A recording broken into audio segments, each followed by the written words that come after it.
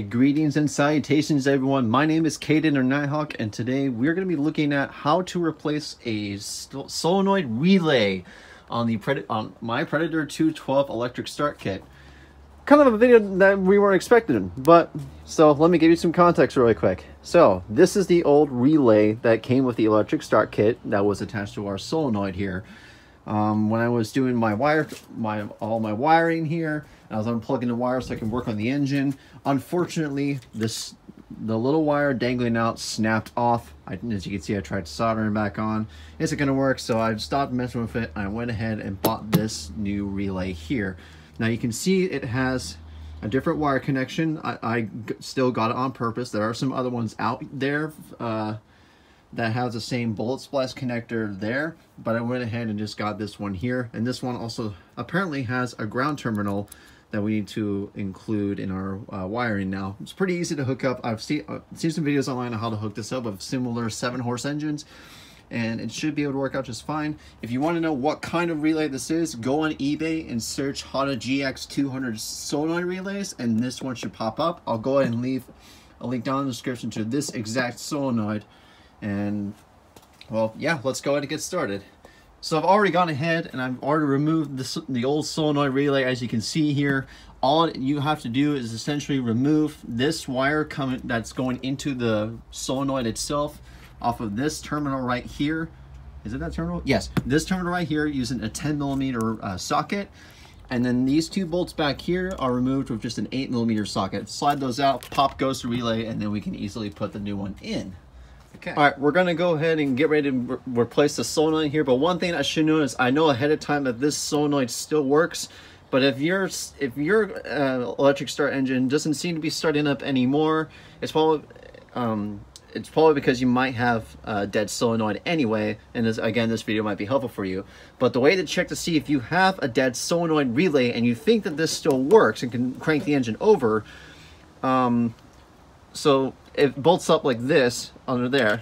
And you normally have a, a positive uh, from the battery coming into this post right here. And the solenoid is hooked up to this post right here. What you could do is you could try to jump start the solenoid by plugging in the positive battery here with your grounds connected and everything. And if the engine turns over then you're good to go. I already know this solenoid still works in perfect. It's just the like I said the wire ripped out of this solenoid here. So I don't have to this is this is why I'm replacing it, but again, this is how you, you can diagnose your relay. Anyway, so let's go ahead and get started. I'm going to go ahead and move this main connector connection out of the way. And basically what I'm going to do is I'm going to make use of this hole that we use on the, on the solenoid motor here. I'm going to go ahead and remove that bolt.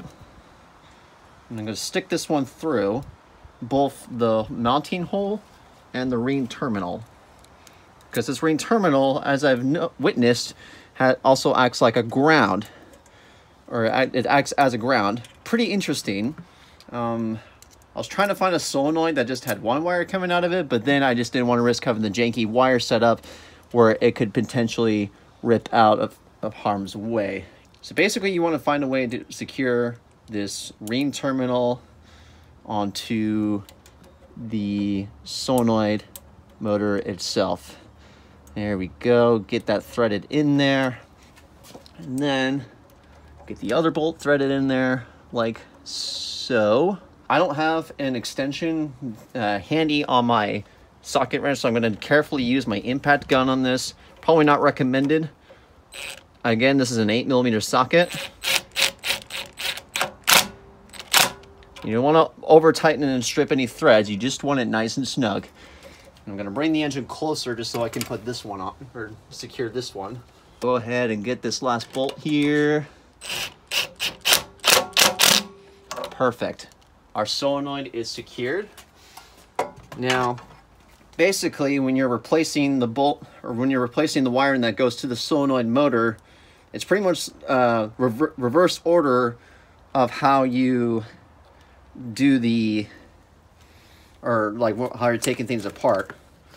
All right, so I have our nut tightened down with our 10 millimeter socket and I went ahead and recovered this bolt up. You don't want to over tighten it, you just want to make it nice and snug. And now this post is of course going to go to the positive of your battery and also the uh, ring terminal that goes to your key switch box. We'll go ahead and cut to a further segment that uh, also coexists with the other video I'm going to be posting, uh, putting the trike back together.